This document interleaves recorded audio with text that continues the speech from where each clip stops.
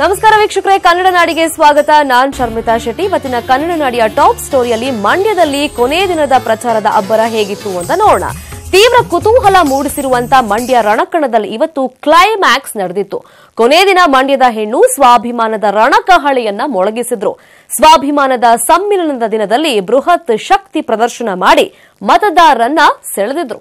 ಸಕ್ಕರೆ ನಾಡ ಸಂಗ್ರಾಮದಲ್ಲಿ ಸ್ವಾಭಿಮಾನದ ಸಮ್ಮಿಲನ. ಕಣ್ ಹಾಯಿಸಿದಲ್ಲೆಲ್ಲ ಜನಸಾಗರ. ಮುಗಿಲು ಮುಟ್ಟಿದ ಅಭಿಮಾನಿಗಳ ಜೈಕಾರ. ಡೊಳ್ಳು, ನಗಾರಿ, ತಮಟೆಯ ಸದ್ದು. ಮಂಡ್ಯ ಕ್ಷೇತ್ರದ ಪಕ್ಷೇತರ ಅಭ್ಯರ್ಥಿ ಸುಮಲತಾ ಆಯೋಜಿಸಿದ್ದ ಸ್ವಾಭಿಮಾನಿಗಳ ಸಮ್ಮಿಲನದ ಕ್ಷಣಗಳಿವು. ಮಂಡ್ಯ ಸಂಗ್ರಾಮದಲ್ಲಿ ಸ್ವಾಭಿಮಾನಿಗಳ ಸಮ್ಮಿಲನ. ಜೋಡೆತ್ತು ಬಲದೊಂದಿಗೆ ಗೌಡ್ತಿ ಶಕ್ತಿ ಪ್ರದರ್ಶನ. ಅದು ಮಾರ್ಚ್ ಇಪ್ಪತ್ತರ ದಿನ. ಪಕ್ಷೇತರ ಅಭ್ಯರ್ಥಿಯಾಗಿ ಮಂಡ್ಯ ಕಣಕ್ಕಿಳಿದಿದ್ದ ದಿನ ಬೃಹತ್ ಶಕ್ತಿ ಪ್ರದರ್ಶನದೊಂದಿಗೆ ನಾಮಪತ್ರ ಸಲ್ಲಿಸಿದ್ರು. ಇದು ಫೆಬ್ರವರಿ ಹದಿನಾರು. ತಿಂಗಳ ಹಿಂದೆ ಇದ್ದ ಬಲ ಪ್ರದರ್ಶನವೇ ಕೊನೆ ದಿನದ ಬಹಿರಂಗ ಪ್ರಚಾರದಲ್ಲೂ ಕಂಡಿತ್ತು. ಅಂದು ಜೋಡೆತ್ತು ಬಲದೊಂದಿಗೆ ಅಖಾಡಕ್ಕಿಳಿದಿದ್ದ ಅಮ್ಮ ಸುಮಲತಾಗೆ ಇಂದು ಕೂಡ ರಾಕಿಂಗ್ ಸ್ಟಾರ್ ಹಾಗೂ ಚಾಲೆಂಜಿಂಗ್ ಸ್ಟಾರ್ ಬಲ ತುಂಬಿ ಶಕ್ತಿ ಪ್ರದರ್ಶಿಸಿದ್ರು. ಕಾಳಿಕಾಂಬ ದೇಗುಲದಲ್ಲಿ ಪೂಜೆ ಸಲ್ಲಿಸಿ ರ್ಯಾಲಿ. ಸಿಲ್ವರ್ ಜೂಬ್ಲಿ ಪಾರ್ಕ್ ವರೆಗೆ ಬೃಹತ್ ಮೆರವಣಿಗೆ. ಬಹಿರಂಗ ಪ್ರಚಾರದ ಕೊನೆ ದಿನ ಸುಮಲತಾ ಬಣ ಮಂಡ್ಯದ ಕಾಳಿಕಾಂಬ ದೇವಿಗೆ ಪೂಜೆ ಸಲ್ಲಿಸಿ ಬೃಹತ್ ರ್ಯಾಲಿ ಆರಂಭಿಸಿದ್ರು. ರ್ಯಾಲಿಯಲ್ಲಿ ಸುಮಲತಾ, ದರ್ಶನ್, ಯಶ್, ಅಂಬಿಪುತ್ರ ಅಭಿಷೇಕ್, ದೊಡ್ಡಣ್ಣ ರಾಕ್ಲೈನ್ ವೆಂಕಟೇಶ್ ಸೇರಿದಂತೆ ಸ್ವಾಭಿಮಾನಿಗಳ ಬಣ ಅಬ್ಬರಿಸಿತ್ತು. ಸಿಲ್ವರ್ ಜೂಬ್ಲಿ ಪಾರ್ಕ್ನಲ್ಲಿ ಆಯೋಜಿಸಿದ್ದ ಸ್ವಾಭಿಮಾನಿಗಳ ಸಮ್ಮಿಲನ ಬಹಿರಂಗ ಸಭೆವರೆಗೂ ಮೆರವಣಿಗೆ ಸಾಗಿತ್ತು. ಜೋಡೆತ್ತುಗಳು, ಸುಮಲತಾ ಪುತ್ರ ಅಭಿಷೇಕ್ ಹಸಿರು ಟವಲ್ ಹಾಕೊಂಡು ರೈತರ ಮಕ್ಕಳಾಗಿದ್ದು ಮಂಡ್ಯದ ಹೆಣ್ಣಿಗೆ ವಿವಿಧ ಸಂಘಟನೆಗಳ ಬಲ. ಸ್ವಾಭಿಮಾನಿಗಳ ರ್ಯಾಲಿಯಲ್ಲಿ ರೆಬಲ್ ಫೋಟೋ.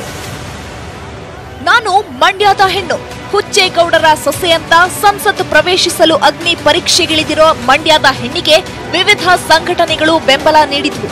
ರೈತ ಸಂಘಟನೆಗಳು, ಕಾಂಗ್ರೆಸ್ ಕಾರ್ಯಕರ್ತರು, ಬಿಜೆಪಿ, ಸ್ವಾಭಿಮಾನಿ ಪಕ್ಷ ಡಿಎಸ್ಎಸ್ ಸೇರಿದಂತೆ ಹಲವು ಸಂಘಟನೆಗಳು ರ್ಯಾಲಿಯಲ್ಲಿ ಅಬ್ಬರಿಸಿದ್ವು. ರೆಬಲ್ ನಾಯಕ ರಮೇಶ್ ಬಾಬು, ಚಲುವರಾಯಸ್ವಾಮಿ, ಗಣಿಗ ರವಿಕುಮಾರ್, ದಿವಂಗತ ಅಂಬರೀಶ್ ಭಾವಚಿತ್ರಗಳು ರಾರಾಜಿಸಿ ಬೃಹತ್ ರ್ಯಾಲಿ ಸಿಲ್ವರ್ ಜೂಬ್ಲಿ ಪಾರ್ಕ್ನಲ್ಲಿ ಸಮಾವೇಶಗೊಂಡಿತ್ತು. ಸ್ವಾಭಿಮಾನಿಗಳ ಸಮ್ಮಿಲನ ದಿನದ ಹೆಸರಲ್ಲಿ ಬಹಿರಂಗ ಪ್ರಚಾರ ನಡೆಸಲಾಯಿತು. ವೇದಿಕೆ ಬಳಿ ಅಭಿಮಾನಿಗಳು ಸಿದ್ದರಾಮಯ್ಯ ಭಾವಚಿತ್ರ ಹಿಡಿದು ಸುಮಲತಾರನ್ನ ಬೆಂಬಲಿಸಿದ್ದು ಕಂಡುಬಂತು. ಮೊದಲ ಹಂತದ ಚುನಾವಣಾ ಕ್ಷೇತ್ರಗಳಲ್ಲಿ ಮಂಡ್ಯ ಕ್ಷೇತ್ರ ದೇಶದ ಗಮನ ಸೆಳೆದಿದ್ದು ಅತಿ ಸೂಕ್ಷ್ಮ ಕ್ಷೇತ್ರವಾಗಿದೆ. ಸುಮಲತಾ ಚುನಾವಣಾ ಆಯೋಗಕ್ಕೆ ಅಭದ್ರತೆ ಬಗ್ಗೆ ದೂರು ನೀಡಿರೋದ್ರಿಂದ ಹೆಚ್ಚಿನ ಭದ್ರತೆ ಒದಗಿಸಲಾಗಿದೆ. ಒಟ್ಟಾರೆ ಬಹಿರಂಗ ಪ್ರಚಾರದ ಕೊನೆ ದಿನ ಸ್ವತಂತ್ರ ಅಭ್ಯರ್ಥಿ ಸುಮಲತಾ ಬೃಹತ್ ಶಕ್ತಿ ಪ್ರದರ್ಶನ ಮಾಡಿದ್ದು ಗೆಲುವಿನ ನಿರೀಕ್ಷೆಯಲ್ಲಿದ್ದಾರೆ. ಆದರೆ ನಾಡಿದ್ದು ಮತದಾರನ ಬೆರಳ ತುದಿ ಅಭ್ಯರ್ಥಿಯ ಹಣೆ ಬರಹ ಬರೆಯಲಿದೆ. ಹರ್ಷವರ್ಧನ್, ಗಂಗಾಧರ್ ಜೊತೆ ರಾಘವೇಂದ್ರ, ನ್ಯೂಸ್ ಏಟಿನ್ ಕನ್ನಡ, ಮಂಡ್ಯ. ಇನ್ನು ಮಂಡ್ಯದಲ್ಲಿ ಸುಮಲತಾ ಎದುರಾಳಿ ನಿಖಿಲ್ ಪರ ಮುಖ್ಯಮಂತ್ರಿ ಕೊನೆ ದಿನದ ಪ್ರಚಾರವನ್ನ ಮಾಡಿದ್ರು.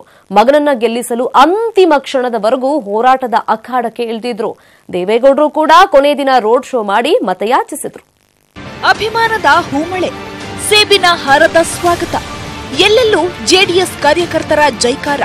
ಪುತ್ರ ನಿಖಿಲ್ ಕುಮಾರ್ ಗೆಲುವಿಗೆ ಸಿಎಂ ಎಚ್ಡಿ ಕುಮಾರಸ್ವಾಮಿ ಅಬ್ಬರದ ಬಹಿರಂಗ ಪ್ರಚಾರ. ಮಂಡ್ಯ ಕುರುಕ್ಷೇತ್ರದಲ್ಲಿ ಅರ್ಜುನನ ಅಬ್ಬರ. ಅಭಿಮನ್ಯು ಗೆಲುವಿಗಾಗಿ ಕೊನೆ ದಿನ ಸಿಎಂ ಪ್ರಚಾರ. ಮಂಡ್ಯದಲ್ಲಿ ನಾಡಿದ್ದು ನಡೆಯೋ ಮತದಾನಕ್ಕೆ ಜಿಲ್ಲಾಡಳಿತ ಸಕಲ ಸಿದ್ಧತೆ ಮಾಡಿಕೊಳ್ತಿದೆ. ಒಂದೆಡೆ ಚುನಾವಣಾ ಆಯೋಗದ ಸಿದ್ಧತೆ ಜೋರಾಗಿದ್ರೆ ಜೆಡಿಎಸ್ ಅಭ್ಯರ್ಥಿ ನಿಖಿಲ್ ಪರ ಸಿಎಂ ಕುಮಾರಸ್ವಾಮಿ ಅವರ ಕೊನೆ ದಿನದ ಪ್ರಚಾರ ಕೂಡ ರಂಗೇರಿತ್ತು. ಮಂಡ್ಯದ ತಗ್ಗನಹಳ್ಳಿಯಲ್ಲಿ ಸಿಎಂ ವಿಶೇಷ ಬಸ್ನಲ್ಲಿ ರೋಡ್ ಶೋ ಮಾಡಿದ್ರು. ಸಿಎಂಗೆ ಶ್ರೀರಂಗಪಟ್ಟಣ ಶಾಸಕ ರವಿ ಶ್ರೀಕಂಠಯ್ಯ ಸಾಥ್ ನೀಡಿದ್ರು. ತಗ್ಗನಹಳ್ಳಿಯಿಂದ ಬಸರಾಳು ಗ್ರಾಮ ತಲುಪಿದ ಸಿಎಂ ರೋಡ್ ಶೋಗೆ ಅದ್ಧೂರಿ ಸ್ವಾಗತ ಸಿಕ್ಕಿತ್ತು. ಅಂಬಿ ಆಪ್ತ ಅಮರಾವತಿ ಚಂದ್ರಶೇಖರ್ ಬಸರಾಳುವಿನಲ್ಲಿ ಸಿಎಂ ಜೊತೆ ಪ್ರಚಾರದಲ್ಲಿ ಭಾಗಿಯಾಗಿದ್ರು. ಕೊನೆ ಕ್ಷಣದಲ್ಲಿ ಫೀಲ್ಡ್ಗಿಳಿದ ಅಭಿಮನ್ಯು ಬಹಿರಂಗ ಪ್ರಚಾರ ಅಂತ್ಯಕ್ಕೆ ಇನ್ನೊಂದು ಗಂಟೆ ಬಾಕಿ ಇರುವಾಗ ಕೊನೆ ಘಳಿಗೆಯಲ್ಲಿ ನಿಖಿಲ್ ಕುಮಾರಸ್ವಾಮಿ ಫೀಲ್ಡಿಗಿಳಿದಿದ್ರು. ಗೆಜ್ಜಲಗೆರೆ ಸಮೀಪವಿರೋ ಗಾರ್ಮೆಂಟ್ಸ್ಗೆ ಭೇಟಿ ನೀಡಿ ಕಾರ್ಮಿಕರ ಬಳಿ ಮತ ಕೇಳಿದ್ರು. ಮಗನ ಪರ ಶಾಸಕಿ ಅನಿತಾ ಕುಮಾರಸ್ವಾಮಿ, ಸಚಿವ ಸಿಎಸ್ ಪುಟ್ಟರಾಜು ಕ್ಯಾಂಪೇನ್ ಮಾಡಿದ್ರು. ಒಟ್ಟಾರೆ ಸುಮಲತಾ ವರ್ಸಸ್ ನಿಖಿಲ್ ನಡುವಿನ ಸಮರ ಇಡೀ ದೇಶದಲ್ಲೇ ಗಮನ ಸೆಳೆದಿದೆ. ಮತದಾರರು ಮಾತ್ರ ಯಾರ ಹೆಸರಿನ ಮುಂದೆ ಬಟನ್ ಒತ್ತುತ್ತಾರೆ ಅನ್ನೋದು ಮಾತ್ರ ಸಸ್ಪೆನ್ಸ್. ಕೃಷ್ಣ ಜೊತೆ ಆನಂದ್, ನ್ಯೂಸ್ ಏಟೀನ್ ಕನ್ನಡ, ಮಂಡ್ಯ. ಇನ್ನು ದಳಪತಿಗಳಿಗೆ ಮತ್ತೆ ಐಟಿ ಶಾಕ್ ತಟ್ಟಿತು. ಲೋಕಸಮರದ ಬಿಸಿ ಹೊತ್ತಲ್ಲೇ ಜೆಡಿಎಸ್ ನಾಯಕರಿಗೆ ಆದಾಯ ತೆರಿಗೆ ಇಲಾಖೆ ಅಧಿಕಾರಿಗಳು ಬಿಗ್ ಶಾಕ್ ಅನ್ನ ಕೊಟ್ಟಿದ್ರು. ಮತದಾನಕ್ಕೆ ದಿನ ಹತ್ರ ಬರ್ತಾ ಇದ್ದಂತೆ ಐಟಿ ಹಲವೆಡೆ ಮ್ಯಾರಥಾನ್ ರೇಡ್ ಮಾಡಿತ್ತು.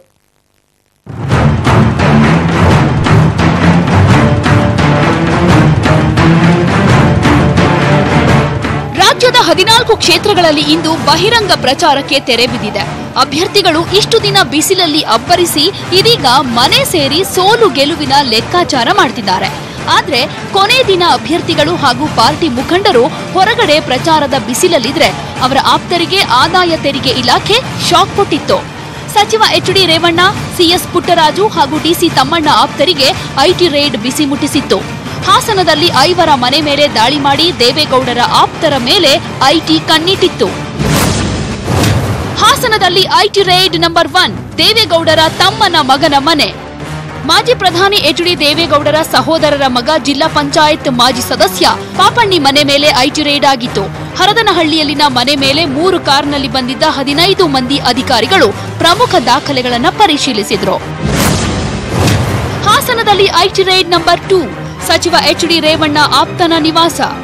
ಹಾಸನದ ಕುವೆಂಪು ನಗರದಲ್ಲಿರೋ ಸಚಿವ ಎಚ್ಡಿ ರೇವಣ್ಣರ ಆಪ್ತ ಮಾಜಿ ಎಂಎಲ್ಸಿ ಪಟೇಲ್ ಶಿವರಾಮ್ರ ಮನೆ ಮೇಲೆ ಐಟಿ ದಾಳಿ ಮಾಡಿ ಪ್ರಮುಖ ದಾಖಲೆಗಳನ್ನು ಪರಿಶೀಲನೆ ಮಾಡಿತು. ಹಾಸನದಲ್ಲಿ ಐಟಿ ರೈಡ್ ನಂಬರ್ ಮೂರು, ಡಿಸಿಸಿ ಬ್ಯಾಂಕ್ ಮಾಜಿ ಅಧ್ಯಕ್ಷನ ನಿವಾಸ. ಹಾಸನದ ವಿದ್ಯಾನಗರದಲ್ಲಿರುವ ಡಿಸಿಸಿ ಬ್ಯಾಂಕ್ ಮಾಜಿ ಅಧ್ಯಕ್ಷ ಹೊನ್ನವಳ್ಳಿ ಸತೀಶ್ ಮನೆಯಲ್ಲಿ ಐಟಿ ಪರಿಶೀಲನೆ ಮಾಡಿತು. ಹಾಸನದಲ್ಲಿ ಐಟಿ ರೇಡ್ ನಂಬರ್ ನಾಲ್ಕು, ತಾಲೂಕು ಪಂಚಾಯತ್ ಮಾಜಿ ಅಧ್ಯಕ್ಷನ ಮನೆ ಹೊಳೆನರಸೀಪುರ ತಾಲೂಕು ಪಂಚಾಯತ್ ಮಾಜಿ ಅಧ್ಯಕ್ಷ ನ್ಯಾಮನಹಳ್ಳಿ ಅನಂತಕುಮಾರ್ ಅವರಿಗೂ ಐಟಿ ಶಾಕ್ ತಟ್ಟಿತ್ತು. ವಿದ್ಯಾನಗರ ಮನೆ ಮೇಲೆ ಅಧಿಕಾರಿಗಳು ದಾಳಿ ಮಾಡಿ ಪರಿಶೀಲನೆ ಮಾಡಿದ್ರು. ಹಾಸನದಲ್ಲಿ ಐಟಿ ರೇಡ್ ನಂಬರ್ ಐದು, ಗುತ್ತಿಗೆದಾರ ಕಾರ್ಲೆ ಇಂದ್ರೇಶ್ ನಿವಾಸ. ಹಾಸನದ ವಿದ್ಯಾನಗರದಲ್ಲಿರೋ ಗುತ್ತಿಗೆದಾರರಾದ ಕಾರ್ಲೆ ಇಂದ್ರೇಶ್ ಮನೆಯಲ್ಲೂ ಐಟಿ ತಲಾಶ್ ಮಾಡಿತ್ತು. ರಣಕಣ ಮಂಡ್ಯದಲ್ಲೂ ಐಟಿ ರೇಟ್. ಸಚಿವ ಪುಟ್ಟರಾಜು, ಡಿಸಿ ತಮ್ಮಣ್ಣ ಆಪ್ತರಿಗೆ ದಾಳಿ ಬಿಸಿ. ಮಂಡ್ಯದಲ್ಲಿ ಸಚಿವ ಪುಟ್ಟರಾಜು ಆಪ್ತ ಸಾಮಿಲ್ ತಿಮ್ಮೇಗೌಡ ಮನೆ ಮೇಲೆ ಐಟಿ ದಾಳಿ ಮಾಡಿತು.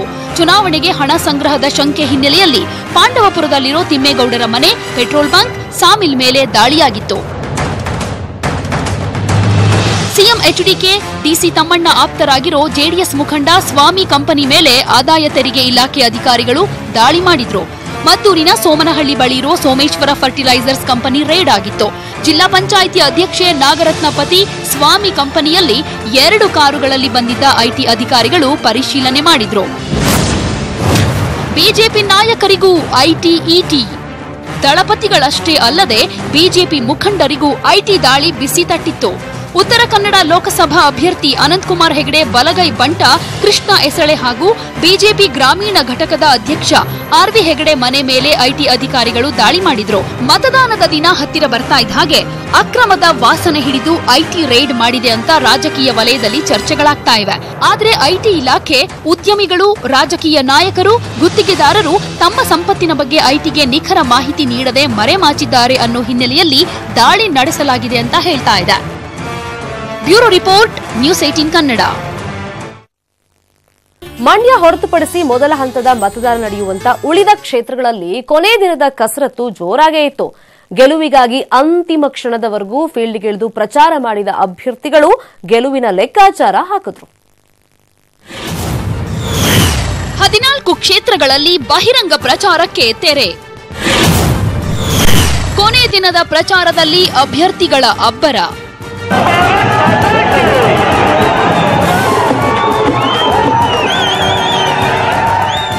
ರಾಜ್ಯದ ಹದಿನಾಲ್ಕು ಕ್ಷೇತ್ರಗಳಲ್ಲಿ ನಾಡಿದ್ದು ಮತದಾನ ನಡೆಯಲಿದೆ. ಇವತ್ತು ಬಹಿರಂಗ ಪ್ರಚಾರಕ್ಕೆ ತೆರೆ ಬಿದ್ದಿದ್ದು, ಅಭ್ಯರ್ಥಿಗಳು ಕೊನೆ ದಿನದ ಕಸರತ್ತನ್ನ ಮುಂದುವರೆಸಿದ್ರು. ತುಮಕೂರು ಕ್ಷೇತ್ರದಲ್ಲಿ ಬಿಜೆಪಿ ಅಭ್ಯರ್ಥಿ ಜಿಎಸ್ ಬಸವರಾಜು ಪರ ಬಿಜೆಪಿ ರಾಷ್ಟ್ರಾಧ್ಯಕ್ಷ ಅಮಿತ್ ಶಾ ಬೃಹತ್ ರೋಡ್ ಶೋ ನಡೆಸಿದ್ರು. ಮೊದಲು ಸಿದ್ಧಗಂಗಾ ಮಠಕ್ಕೆ ಭೇಟಿ ನೀಡಿ ಲಿಂಗೈಕ್ಯ ಶಿವಕುಮಾರ ಸ್ವಾಮೀಜಿ ಗದ್ದುಗೆಗೆ ನಮಿಸಿ ಬಹಿರಂಗ ಪ್ರಚಾರವನ್ನ ಮಾಡಿದ್ರು. ಈ ಮೂಲಕ ಬಿಜೆಪಿ ಪಾಳಯಕ್ಕೆ ಕೊನೆ ದಿನದಲ್ಲಿ ಶಕ್ತಿ ತುಂಬಿದ್ರು. ಜೆಡಿಎಸ್ ಅಭ್ಯರ್ಥಿ ಮಾಜಿ ಪ್ರಧಾನಿ ಎಚ್ ಡಿ ದೇವೇಗೌಡ ಗುಬ್ಬಿ ತಾಲೂಕಿನ ಸಿಎಸ್ಪುರ ಹೋಬಳಿಯಲ್ಲಿ ರ್ಯಾಲಿ ಮಾಡಿದ್ರು. ಪತಿ ಗೆಲುವಿಗಾಗಿ ಪತ್ನಿ ಚೆನ್ನಮ್ಮ ಸಿದ್ಧಗಂಗಾ ಮಠಕ್ಕೆ ಭೇಟಿ ನೀಡಿ ವಿಶೇಷ ಪೂಜೆ ಸಲ್ಲಿಸಿ ಪ್ರಾರ್ಥಿಸಿದ್ರು. ಗುಬ್ಬಿ ರ್ಯಾಲಿ ಬಳಿಕ ದೇವೇಗೌಡರು ಕೊರಟಗೆರೆಯಲ್ಲಿ ಮೈತ್ರಿ ಸಮಾವೇಶವನ್ನ ನಡೆಸಿದ್ರು.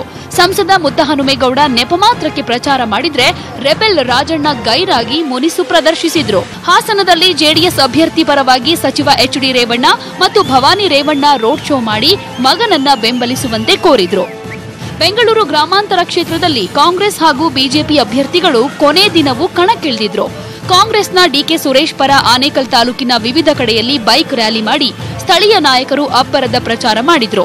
ಬಿಜೆಪಿ ಅಭ್ಯರ್ಥಿ ಅಶ್ವಥ್ ನಾರಾಯಣ್ ಪರ ಕಾರ್ಯಕರ್ತರು ಮತಯಾಚಿಸಿದ್ರು.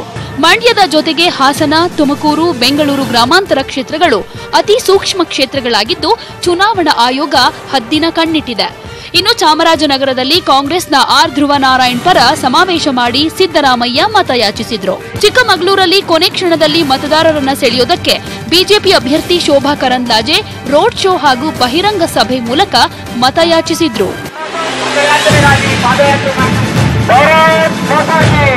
ಚಿತ್ರದುರ್ಗದ ಚಳ್ಳಕೆರೆಯಲ್ಲಿ ಬಿಎಸ್ವೈ ಬಹಿರಂಗ ಸಮಾವೇಶವನ್ನ ಮಾಡಿ ಬಿಜೆಪಿ ಅಭ್ಯರ್ಥಿಯ ಪರ ಮತಯಾಚಿಸಿದ್ರು ಕೊಡಗಿನ ಮಡಿಕೇರಿಯಲ್ಲಿ ಬಿಜೆಪಿ ಅಭ್ಯರ್ಥಿ ಪ್ರತಾಪ್ ಸಿಂಹ ಪರ ಪಕ್ಷದ ಕಾರ್ಯಕರ್ತರು ಹಾಗೂ ಜಿಲ್ಲೆಯ ನಾಯಕರು ಮೆರವಣಿಗೆ ಮಾಡಿ ಬಿಜೆಪಿಗೆ ವೋಟ್ ಕೇಳಿದ್ರು. Bureau report, news eighteen Kannada. Lingayat ಪ್ರತ್ಯೇಕ ಧರ್ಮದ ವಿಚಾರವಾಗಿ ಸೋನಿಯಾ ಗಾಂಧಿಗೆ ಗೃಹ ಸಚಿವ ಎಂಬಿ ಪಾಟೀಲ್ ಪತ್ರ ಬರೆದಿದ್ದಾರೆ ಅಂತ ಪತ್ರಿಕೆಯಲ್ಲಿ ಪ್ರಕಟವಾಗಿತ್ತು. ಇದೊಂದು ನಕಲಿ ಪತ್ರವಾಗಿದ್ದು ಬಿಎಲ್ಡಿ ಲೆಟರ್ ಹೆಡ್ ಫೋರ್ಜರಿ ಮಾಡಿದ್ದಾರೆ ಅಂತ ಗೃಹ ಸಚಿವ ಎಂಬಿ ಪಾಟೀಲ್ ವಿಜಯಪುರದ ಆದರ್ಶ ನಗರ ಪೊಲೀಸ್ ಠಾಣೆಯಲ್ಲಿ ದೂರನ್ನು ದಾಖಲು ಮಾಡಿದ್ದಾರೆ. ಲಿಂಗಾಯತ ಧರ್ಮಕ್ಕೂ ಕಾಂಗ್ರೆಸ್ ಪಕ್ಷಕ್ಕೂ ಸಂಬಂಧ ಇಲ್ಲ ಅಂತ ಮೊದಲಿಂದಲೂ ಹೇಳ್ಕೊಂಡು ಬಂದಿದ್ದೀನಿ. ಬಿಎಲ್ಡಿ ಲೆಟರ್ ಹೆಡ್ಗೂ ಫೋರ್ಜರಿ ಲೆಟರ್ ಹೆಡ್ಗೂ ಬಹಳ ವ್ಯತ್ಯಾಸಗಳಿವೆ ಅಂತ ಸಚಿವ ಎಂಬಿ ಪಾಟೀಲ್ ದೂರನ್ನು ಕೊಟ್ಟಿದ್ದಾರೆ.